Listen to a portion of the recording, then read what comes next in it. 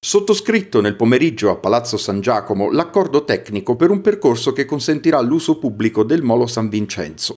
Coordinato dall'assessore Edoardo Cosenza, il tavolo ha messo assieme Comune di Napoli, Soprintendenza, Marina Militare e Autorità Portuale. La Marina, come sapete, è dal 2013 sta facendo parecchi investimenti nella città di Napoli, per noi è una base importante, una città storica, una città marinara e quindi la presenza della Marina riteniamo fondamentale, per cui riuscire a coniugare da una parte l'esigenza di mantenere l'operatività della base navale e dall'altra consentire alla popolazione di poter accedere al Molo San Vincenzo senza che l'operatività venisse messa in discussione o venisse messa in pericolo, per noi è stato un bellissimo risultato, quindi ecco perché io penso che si tratti di una soluzione win-win, cioè vincente per entrambi e sono molto contento che si sia fatta in questo momento. Un esempio di buona amministrazione, cioè di un rapporto interistituzionale di persone che si sono messe insieme e hanno ottenuto un risultato, cioè quello praticamente di individuare le linee guida di un progetto che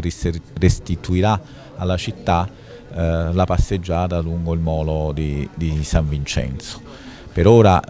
eh, in una parte e, e speriamo che però insomma, possa essere, anzi sono certo che poi riusciremo a proseguire fino alla parte terminale del Molo anche con un progetto di riqualificazione complessiva del monumento borbonico ma anche di tutto quel contesto che da un punto di vista paesaggistico è straordinario e ce lo restituisce in forme compatibili con la tutela